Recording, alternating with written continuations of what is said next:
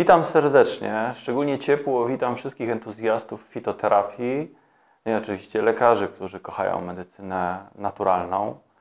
W kolejnym odcinku Akademii Natur Day opowiemy o e, chorobie, która niestety zdarza się coraz częściej, jest chorobą niezwykle groźną. Jest to borelioza z Limy.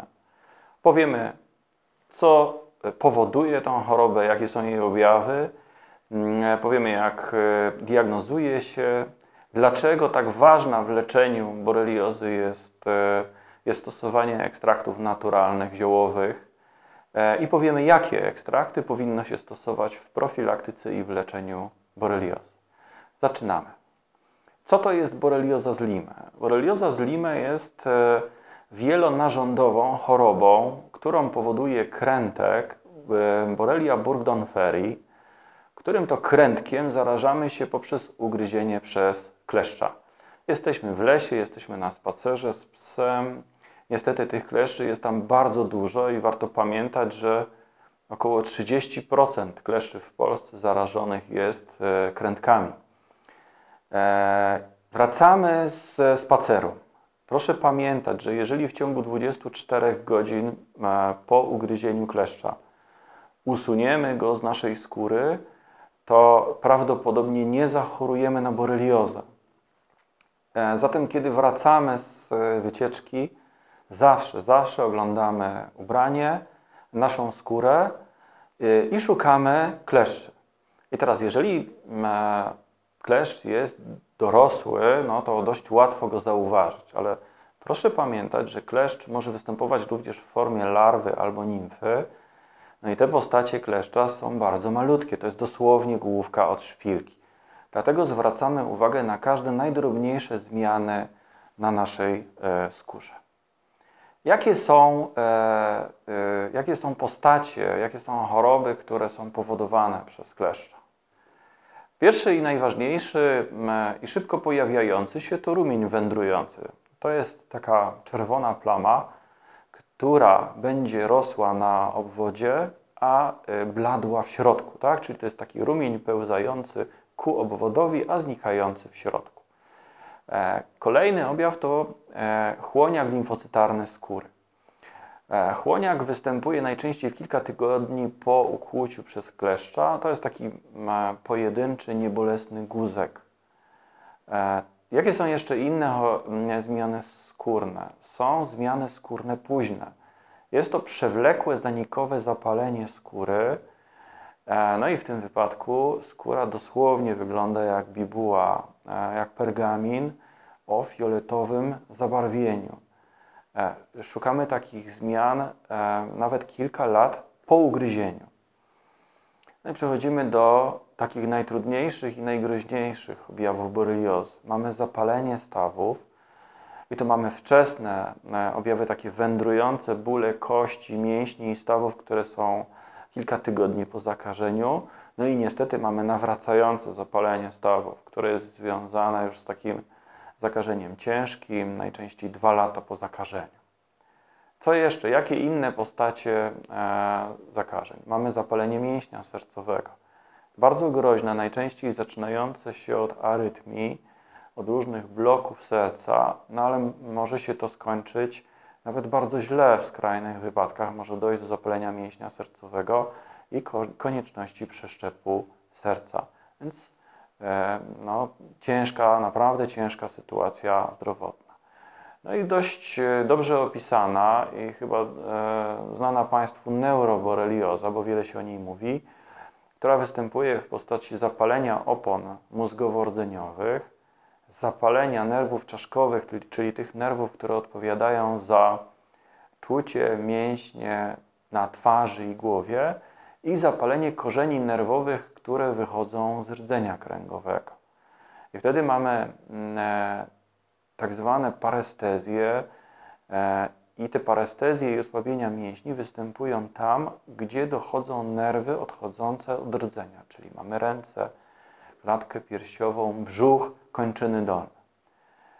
I ostatni, czasem występujący, kiedy już e, wydaje nam się, że wszystkie e, procesy leczenia przeprowadziliśmy prawidłowo, e, dochodzi czasem do pojawienia się zespołu poboreliozowego. E, I najczęściej zgłaszane dolegliwości e, no i są niespecyficzne, to znaczy występuje zmęczenie, bóle głowy, bóle mięśni, parestezje i problemy z pamięcią i koncentracją. I tu warto zaznaczyć i podkreślić, że jeżeli my nie rozpoznamy prawidłowo tej boreliozy, nie zwrócimy się do lekarza, nie będziemy obserwowali naszej skóry, to nieleczona infekcja, e, nieleczona borelioza może trwać miesiącami, a nawet latami, może prowadzić do trwałego kalectwa. Jest to naprawdę groźna choroba. Teraz, jak leczymy tą boreliozę i dlaczego tak ciężko się ją leczy? E, jest to choroba, w której krętek po prostu ukrywa się w naszym organizmie. On, siedząc sobie w naszym organizmie, wydziela różne toksyny i te toksyny drażnią nasze komórki, nasze narządy. Kiedy podamy jakiś antybiotyk, e, na przykład z grupy antybiotyków beta-laktamowych, to proszę sobie wyobrazić, że taki krętek potrafi zmienić swoją postać. Czyli skrętka zamieni się w taką formę nazywaną formą L bez ściany komórkowej, a później zamieni się w cystę i będzie sobie taka cysta siedziała w naszych tkankach.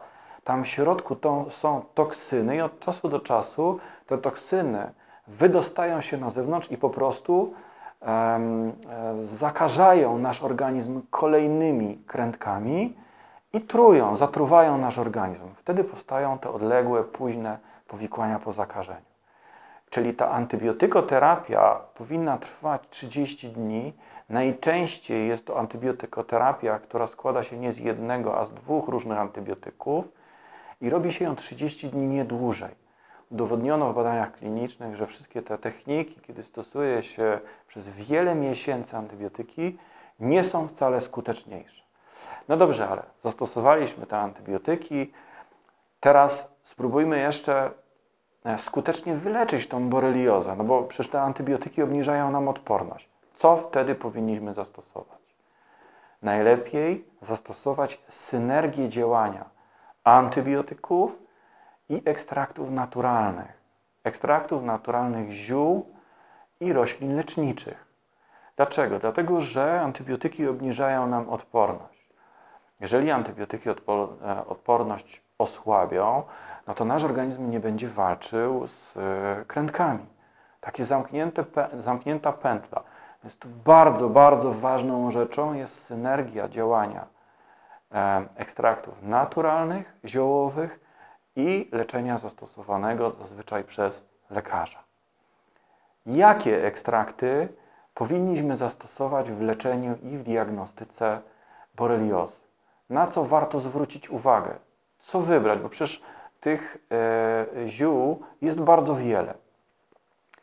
E, pierwsza e, i chyba dość znana i popularna e, roślinka to, Szanowni Państwo, czosnek. E, czosnek, który każdy z nas ma w domu, z tym, że nie mówimy tutaj o zastosowaniu zwykłego maceratu czy czosnku wyciskanego, tylko w profesjonalnej fitoterapii przechodzimy już na naturalne ekstrakty czosnku. E, czosnek pospolity, czyli Allium sativum, ma wielomiejscowe działanie. On nie tylko będzie działał antybakteryjnie przeciw krętkom boreliozy, ale proszę pamiętać, że czosnek ma również takie zastosowania jak nadciśnienie, jak e, profilaktyka zakrzepicy, czyli będzie działał nie tylko hamująco na agregację płytek krwi, ale również będzie działał fibrynolitycznie. I znane jest działanie przeciwmiażdżycowe czosnku, więc przy okazji leczenia czy profilaktyki boreliozy możemy sobie również zastosować ten czosnek e, w, w innych naszych chorobach. Kolejny, mm, kolejny ekstrakt naturalny to jest korzeń szczeci pospolitej, czyli Dipsacus sylvestris.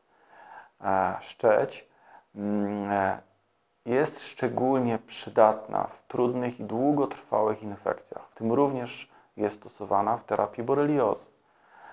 Ekstrakt szczeci niszczy bakterie i nie tylko. Niszczy również pierwiotniaki i niektóre grzyby. Więc e, e, no, jest fantastycznym uzupełnieniem antybiotykoterapii w boreliozy. ale również kiedy e, idziemy do lasu i, i, nawet nie zaraziliśmy się boreliozą, proszę pamiętać, że takie, tego typu ekstrakty będą podnosiły naszą odporność i będą pomagały nam również w innych infekcjach bakteryjnych, w anginie, w zapaleniu oskrzeli i tak. Każdej infekcji wirusowej, bakteryjnej. E, mamy również ekstrakt ziela czystka siwego, Cistus incantus. E, na chwileczkę się zatrzymam przy Cistus incanus, dlatego że od lat wiadomym jest, że leśnicy i geodeci w Europie powinni pić herbatkę z czystka. E, proszę tylko pamiętać o tym, że ekstrakt wodny, czyli herbatka z czystka, nie zawiera wszystkich cennych e, substancji, które w czystku są. W związku z tym w profilaktyce i w leczeniu boreliozy stosujemy ekstrakt wodno-alkoholowy, czyli ekstrakt naturalny ziela czystka siwego. I on jest stosowany nie tylko w infekcjach, ale również jako element e, wzmacniania układu odpornościowego, jak również w detoksykacji. Proszę o tym pamiętać, to jest ważna cecha czystka. Co jeszcze e, warto stosować w boreliozie? Szanowni Państwo, nie tylko w Ameryce Południowej, ale również u nas w Polsce i w Europie. Coraz popularniejsza staje się czepota puszysta, czyli wilka kora, Uncaria tomentosa. Alkaloidy, które są w wilka korze, stymulują białe ciałka krwi, które następnie niszczą bakterie, tym również atakują one krętki boreliozy.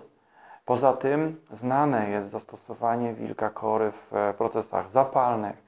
Działa przeciwutleniająco, przeciwwirusowo i jest wiele prób zastosowania w, e, u osób, które są w trakcie chemio i radioterapii nowotworów. Kolejny ekstrakt to jest korzeń rdestu japońskiego, Polygonum cuspidatum. Dość powszechnie występujący w Polsce, natomiast proszę pamiętać, że w profilaktyce i w leczeniu boreliozy nie stosujemy zioła ani korzenia, tylko stosujemy ekstrakt. Nowoczesna fitoterapia stosuje ekstrakt wodno-alkoholowy rdestu japońskiego. I tutaj również mamy działanie przeciwbakteryjne, poprawiające siłę układu odpornościowego. Proszę również pamiętać, że rdest japoński jest bogatym źródłem resveratrolu, który stał się sławny z powodu tak zwanego paradoksu francuskiego. On um, ma chronić nasze serce przed zawałem serca, przez, przed e, zawałami, również e, przed zawałami mózgu. E, i może ostatnia już roślinka, którą dzisiaj wymienię, to jest ekstrakt z liści pięknie nazywającej się brodziuszki wiechowatej, Andrographis paniculata. Brodziuszka ma działanie antybakteryjne, ale również, proszę pamiętać, ma działanie przeciwpasożytnicze, pomaga, przyspiesza trawienie i jest stosowana również w detoksykacji organizmu. A więc E, podsumowując e, zastosowanie ekstraktów naturalnych, kiedy Państwo użyjecie takiej kompozycji ekstraktów, to synergia działania substancji zawartych w tych roślinach znacząco wzmocni skuteczność takiego leczenia i zapobiegania boreliozie. Proszę pamiętać, że tych e, zakażeń boreliozy jest naprawdę dużo, a 30% kleszczy no niestety jest zarażonych tymi krętkami boreliozy. Bardzo proszę pamiętać również o tym, że nieprawidłowe leczenie albo brak rozpoznania boreliozy może spowodować wielomiesięczne, a nawet wieloletnie problemy, które mogą doprowadzić do trwałego kalectwa.